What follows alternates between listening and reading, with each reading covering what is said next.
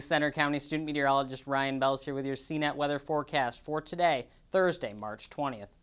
Not only is today Thursday, March 20th, it's also the first day of spring. Spring began today at 12:57, so happy first day of spring to everyone. Our weather headlines, what we're tracking for you over the next few days.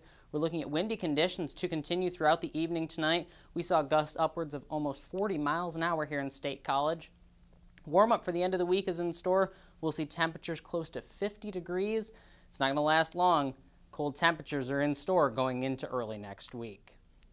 Time lapse of the day here in State College.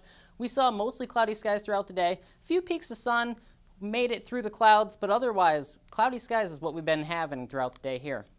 Currently, right now in Happy Valley, overlooking Mount Nittany, we're looking at temperatures in the upper 30s, 39 degrees under cloudy skies. It feels like 30 out there due to that wind out of the west at 17 miles an hour. Elsewhere across the state, current conditions this evening, we're looking at clouds for, for throughout most of the Commonwealth. Few peaks of sun down near Philadelphia, but temperatures, though, right around 40 degrees at this hour. Our eye in the future forecast mapping it out for you.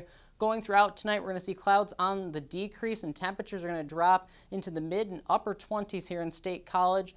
And for the day on Friday, we're looking at a very nice day. Mostly sunny skies, temperatures warming up to upwards of 50 degrees.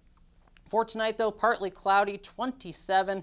Winds still breezy out of the west, 10 to 15, gusting upwards of 20 miles an hour. And for tomorrow, mostly sunny, 48 degrees, winds out of the west, 5 to 10. Tomorrow night, though, with our eye on the future forecast, we're going to see clouds start to become on the increase, and by early Saturday morning, we're going to see the chance for precipitation move into the area. But as quickly as this came in, Saturday afternoon and evening and going into the day on Sunday are going to clear right out. We're going to see temperatures drop as well going into Sunday. Your seven day forecast mapping it out for you. We're looking at warm temperatures for the end of the week, 48 degrees, cooling it down Sunday and going into early next week with the chance for a little bit of precipitation moving in on Tuesday. That's all from the Campus Weather Service. We'd like to thank you for tuning in. Have a great evening.